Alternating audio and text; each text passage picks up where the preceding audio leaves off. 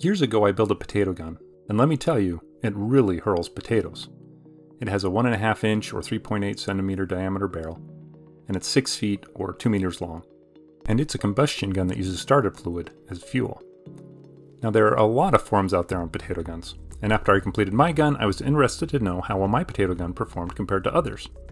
One of the main uses on the forums was to brag about how powerful your gun was, by either telling people how far it shot or how fast it shot a potato. Well, it isn't hard to get a distance. I could go to a large field, shoot my gun at 45 degrees, then pace off the distance to my potato. But I didn't know how people were figuring out how fast their gun shot. Perhaps they had speed guns, but those are rather pricey. But I realized I could use math to figure out and save myself a lot of money. I used a little physics and calculus, but you don't need math as advanced as calculus, just some basic algebra and an understanding of speed. But even a little algebra and an understanding of speed gets us right on the doorstep of differential calculus. So let's see how fast my potato gun shoots, and see what my potato gun can teach us about calculus along the way. Many people that mess with potato guns are competing for a Darwin Award. Just search for potato cannon fails on YouTube and you'll find plenty of examples of what can go wrong if you are not careful. With the long barrel, my potato gun shoots a potato about 250 yards or about 230 meters. But knowing that isn't enough. Take this video for example. In this video, a couple friends compare a bunch of potato guns and one of the measurements they take for each gun is the muzzle velocity in meters per second. If I want to compare my gun to the ones in this video, I also need my muzzle velocity. In this video they use a chronograph to measure the speed. These are devices used to estimate the speed of bullets. I don't have one, but understanding how they work is the key to understanding the math we will use in this video. These two wire devices at the ends are connected to sensors that pick up when an object passes between the wires. The chronograph times the object from the time it triggers the first sensor to triggering the second sensor, and it also knows the distance between the wires. So it has a time difference, or duration, and a distance difference, exactly what is needed to measure speed. Speeds are in units like miles per hour, kilometers per hour, feet per second, meters per second, or if you're a geologist measuring the speed of tectonic plates, centimeters per year. Each of these units is a distance divided by time. To calculate the speed, we need both a change in distance and a change in time. Notice that I said the estimate of the speed earlier. The bullet's actually slowing down while it passes through the chronograph, so it's slightly slower when it's passing the second sensor than when passing the first sensor. A bullet doesn't slow down much in that short time, so it doesn't make any practical difference. But technically, the speed is the average speed of the bullet over that time. What can we do if we don't have a chronograph? Well, if we use some simple physics, we can make our own chronograph mathematically. Physics gives us an equation we can use that tells us the height of any thrown, shot, or dropped objects. The units for this equation uses meters for height and seconds for time. If I shoot a potato straight up, and time to see how long it's in the air, then I can solve for these unknowns in the equation. The derivation of this formula does ignore air resistance, which is a factor here, but with the potato going up and down, the effective air resistance is reduced since the same resistance that keeps a potato from reaching as high as it could in the vacuum also cushions the fall to keep it from coming down as fast as it would in a vacuum. So using this equation could get us reasonable values of the position of the potato shortly after it comes out of the barrel. When I shoot my potato straight up, it takes about 10 seconds before it hits the ground. That 10 seconds actually allows me to find two pieces of information. If we assign time equals 0 to be the time that the potato leaves the barrel, then at t equals 0 the potato is at the end of the barrel which is about 2.5 meters above the ground when I fire it. Then at t equals 10, that's the time when it hits the ground.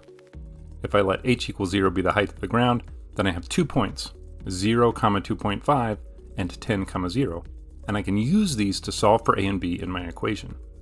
Using the first point, 0, comma 2.5, means when time equals 0, h equals 2.5. Plugging those values in gives us that b equals 2.5.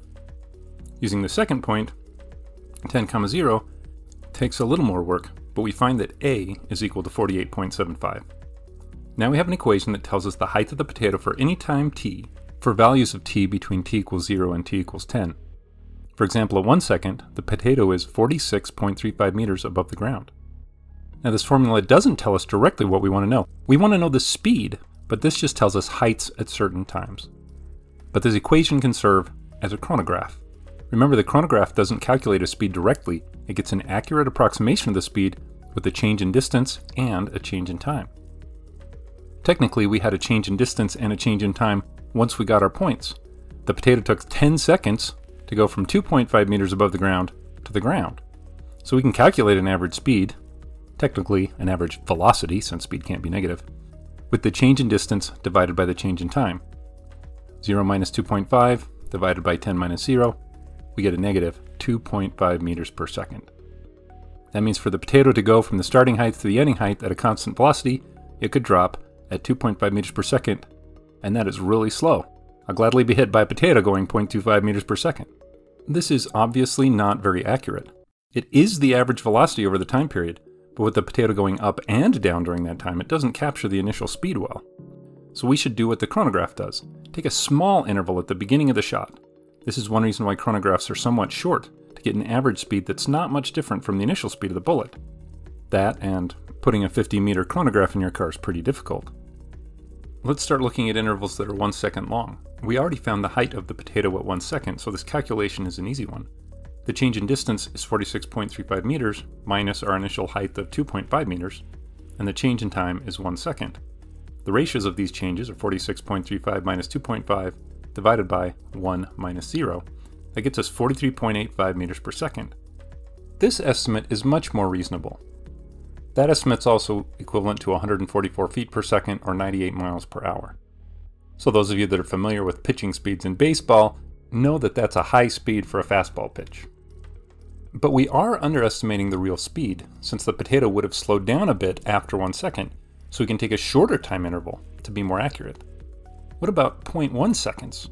Evaluating our height formula at 0.1 and doing the same math we just did before gets us a ratio of 48.26 meters per second, a bit faster than our previous estimate. For practical purposes, that's probably good enough. We could keep going, say with intervals of 0.01 seconds or 0.001 seconds. Technically, these would be underestimated as well. So it may be overkill to ask this, but what do we need to do to find the exact speed? This is what a mathematician might ask, maybe not so much a scientist or engineer, but thank goodness mathematicians have explored that question because it has led to powerful tools for scientists and engineers. To find the exact value, we might pick an interval of zero length, but this produces mathematical nonsense with zero divided by zero. So instead, we'll keep trying smaller and smaller intervals, which means smaller and smaller values of t. Notice that if we plug in our equation h of t and h of 0 into our speed formula and simplify, we can divide by t, and what we have left is a negative 4.9t plus 48.75. But as we plug in values really close to zero for t, then the first expression will get smaller and smaller, basically zero, so all that is left is 48.75. In fact, nothing is stopping us now from letting t equal zero other than making your neighborhood mathematician upset, because if t was zero, then we couldn't divide out t like we did earlier. But let's not get into those weeds right now. So the value of 48.75 meters per second is what we could consider the exact speed of the potato as it exits the barrel. We have actually done some pretty interesting things mathematically. If you've had calculus, you probably see where I'm going, but if not, then hold on for your first calculus lesson. Before I talk about what we did mathematically, let's see how my gun compared to the ones that were evaluated earlier in the video. Well, it's not the lowest, but a fair bit away from being a contender. And these models aren't even hybrid models. They can shoot well over 300 meters per second. The world record, according to Wikipedia, is 933.3 meters per second, or just over 3,000 feet per second. That is quite a potato gun. So, what did we do mathematically that is so interesting? We actually started to develop two of the three most important ideas in calculus limits and derivatives. Let's talk about limits first. We had an expression that was undefined when t equals 0, but was defined for values around t equals 0, and we wanted to know what the value should be at t equals 0. So we took closer and closer values to take a guess, or find the value that seemed most reasonable when t equals 0. We crept up on the value because we couldn't find it directly. That's the intuitive idea of a limit. Limits are the basis for calculus. The two other central ideas in calculus, derivatives and integrals, are two special limits that answer important questions when analyzing quantities. The derivative limit is sometimes called the difference quotient, and is sometimes written this way, which is the same expression we used, but with a function called h instead of f, and the value a was equal to 0. So why is this limit so important? because it allows us to get new information from a function that the function itself doesn't contain. That new information is about the rate that one variable is changing with respect to another. We had a function that told us the height of a potato given a time, but we wanted information about the rate the height was changing given a time, or at a particular time. It is not just cool, but extremely valuable to be able to get that information from a function. We will have another video that goes deeper into the meaning of a derivative, but if you think of derivatives with the math of chronographs, that is, a ratio of small changes, you're well on your way to understanding derivatives in a way that is useful. The notation developed by Leibniz actually helps to see the ratio of small changes, as dy or dx or dt represents an infinitesimally small change in these values. If you don't believe me, stay tuned for a video where we show a math problem involving derivatives that a group of mathematicians couldn't solve, but a group of engineers solved and a group of scientists solved. Why? Because scientists and engineers tend to think about derivatives in a different way than mathematicians, a way that makes a lot more sense when reasoning about derivatives in real world contexts, that slope of a tangent line just doesn't get at. Derivatives as slope of tangent lines is a popular way to think about derivatives, but it's not very useful in most real world situations. If you have had calculus before, then you know what I mean by referring to the slope of the tangent line as a meaning for the derivative. But we will go in depth into that meaning in a later video. Thank you for watching. Please subscribe and share our videos. Be sure to follow Math the World on Twitter, Instagram, and Facebook. Thank you so much for your support.